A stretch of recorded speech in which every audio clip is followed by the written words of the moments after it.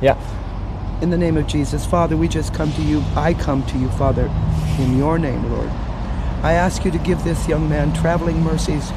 Let him win this award. Show him his value. And Father, as he travels, as he walks these roads like you walked so many roads, Lord, I ask you to be with him. I ask you to minister to him. I ask you to expose yourself and show yourself to him. And then, Lord, show him himself through your eyes.